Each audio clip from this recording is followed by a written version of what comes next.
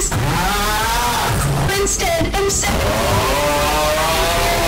To you, did I mention to you that um, am of girls pushed me down a soup?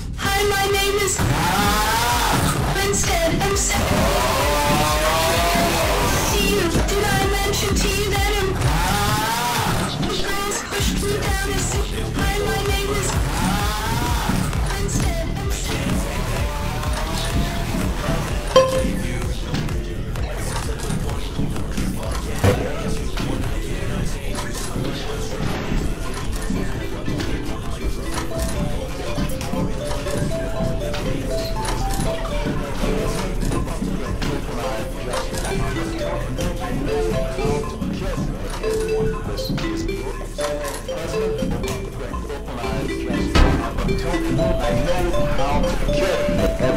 this is your former president,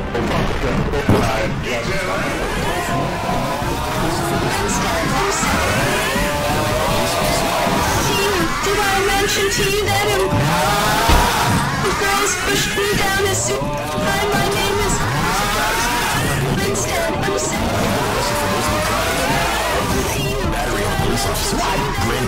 On Italy, and public indecency.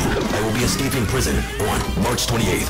After that, I will take over the world. What's up, guys? It's Quandale Dingle.